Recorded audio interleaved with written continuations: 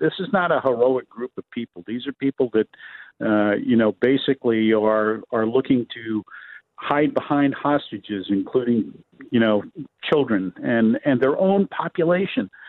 So uh, I don't have any confidence whatsoever that uh, Hamas is going to stay put. Hamas has rejected proposals in the latest ceasefire talks in Cairo. Israel has also withdrawn most of its troops from the southern city of Khan Yunis. Uh, well, let's speak to Colonel Brendan Kearney, military affairs analyst and former chief of staff for the US Marine Corps forces in Europe, uh, who also worked with NATO. Brendan, good evening to you. Thanks for joining us tonight. Hi, Rick. Good talking to you. Now, now, six months on, how close are Israel to eliminating Hamas as they've stated as their target? Well, you know, they're a lot closer than they were six months ago, that's for sure. Uh, they have uh, uh, wreaked uh, tremendous devastation uh, on Hamas, uh, but they haven't finished the job, nor my, they may very well never finish the job. You know, it's a very loose organization. It has its own organizational challenges. Um, it's suffered tremendous casualties. It's used up a lot of its ordnance, its its equipment, its rockets. Um, it's lost a lot of its infrastructure in terms of the tunnels that they had laboriously built over a period of decades. Um, so the Israelis have done an awful lot of damage, uh, and they could probably do some more. But again, you know, it's uh, this is this is one of those things. It's it's like a you know a hive of ants. Uh, you're going to get most of them, but some are going to escape, and then uh, that'll be the problem down the road. Many of Hamas's prominent leaders in Gaza, including Yahya Sinwar, are still believed to be alive, Brendan. Is that one of the reasons why Israel will will not stop its bombardment of many areas in Gaza as it continues to target those tunnels where they believe some of these people are hiding? Yeah, they believe they're in there, uh, these leaders, and they also believe uh, that the leaders are very, very closely co located with the hostages that are in there. Um, and that's a, that's a purposeful effort on the part of Hamas uh, to go ahead and seek uh, protection, knowing that once the Israelis find out where they are, that they're going to have to very carefully and deliberately, which means moving slowly, uh, you know, over concerns about the hostages to try to safeguard their well being. Uh, and of course, moving slowly gives the Hamas leadership a chance to further escape or to move further, uh, maybe into net- tunnel networks that the Israelis have not identified yet. Uh, or, as I, I, I'm completely convinced, Rick, that Hamas has got a whole series of escape plans for their leadership uh, but they don't want to do that right away. They want to appear, appear heroic um, there in, in Gaza to the Palestinian people and to the world, uh, and they don't want to be uh, bugging out, so to speak, uh, too early. They want to do that at the last minute. What, what do you mean by, by that, Brendan? When you talk about escape plans, are you talking about getting some of Hamas leaders out of Gaza if it came to uh, a last standoff, if you like? Yes, I don't believe, Rick, that uh, the senior leadership of Hamas that's still in Gaza wants to die in place. Uh, they live a very, very good life. Their families, most of their families, don't live uh, in Gaza. They're often Qatar or in other countries around the Middle East and the world.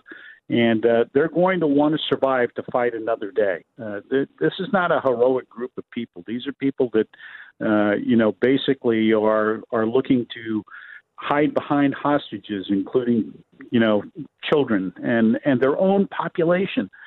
So uh, I don't have any confidence whatsoever that uh, Hamas is going to stay put. Some will. I think there will be those members of their leadership uh, that do feel a moral certainty to go ahead and be the last man standing. But I think those are few and far between when it comes to this leadership. Brendan, thanks very much for that. Good to speak to you tonight. Always, Rick. Talk soon. Former chairman of the U.S. National Intelligence Council under President Barack Obama. Greg, are you there? I am there. Thank you. Sorry I had to be late. No, no, absolutely no problem at all. Uh, it's good to hear. Good to hear your voice.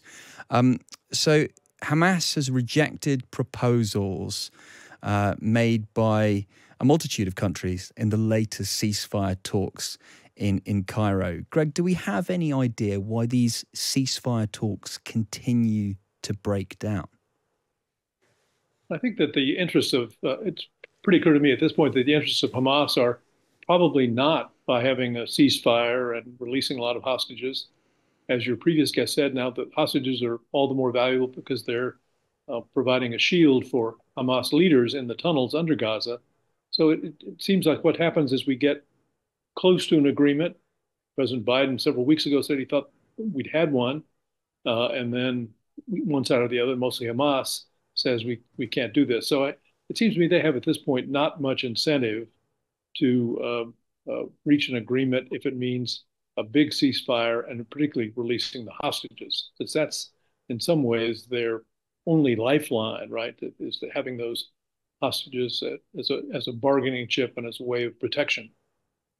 What do we know about Hamas's extensive tunnel network? I mean, the IDF, uh, the Israeli Defense Forces, say they destroyed a great deal of the terrorist infrastructure in Gaza, but clearly, huge parts of it still remain. So it seems. So we we we don't know for all the all the, work and fighting the, the Israelis have done. Uh, they've obviously destroyed lots of tunnels or lots of things in those tunnels. But uh, they were certainly surprised, and I think all of us were surprised by just how much work and how extensive those tunnels were. We, we knew that Gaza was getting money through Qatar, but we didn't know exactly what it was being spent on. And obviously, a lot of it went to trying to build facilities and tunnels uh, under underground. And that network has seen. My guess is there are still pieces of it that the Israelis don't know about or haven't discovered. Um, that makes the task for them especially difficult because it means going slowly and risking hostages mm. getting killed. Greg, Greg, what do we know about the main players who are working to try and achieve a ceasefire in Gaza? We know that the Qataris are center stage here. Who else right. is bringing the two sides together? Well, I mean, we, the United States has been active, and Egypt has been active. Those it seems to me to be the main players. Um, Mr. Biden keeps saying ceasefire, we need it now, we need it now. And now I think the U.S. administration is really prepared to put serious pressure on Israel, pressure on the arms flow in particular, uh, which would be kind of unprecedented, but certainly would signify a very different phase in U.S. Israeli relations and a very different phase in this conflict and the personal conflict between President Biden and uh, Prime Minister Netanyahu. Well, that that's fascinating that, that you think there could be pressure on the arms flow from the US point of view, because of course, over here in the UK, um, in the last four or five days, that has dominated a lot of the discussion about whether or not, and it would be. Uh, it wouldn't be it would be insignificant compared to the US's arms flow to Israel, but the, it has dominated uh, opinion here and talk and discussion on the conflict about whether the UK should stop its arms sales because of events of the last week. But that wouldn't actually happen, Greg, would it? The, the, the US would ever would never actually cut that off. Probably not, and I, I, would assume that uh, Netanyahu wouldn't be silly enough to push that far. Yeah.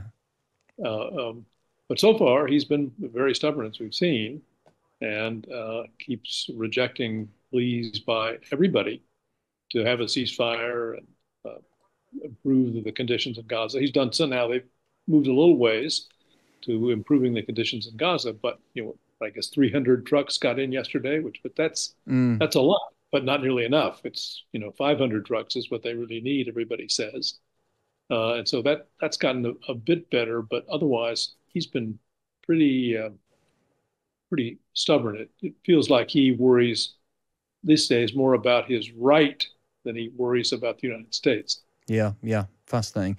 Greg, um, I know we had a bit of trouble getting hold of you tonight, so really appreciate you, you taking the time to to find a decent connection to talk to us. So thanks so much. Oh no, my pleasure. Thank you. Always fun to talk to you.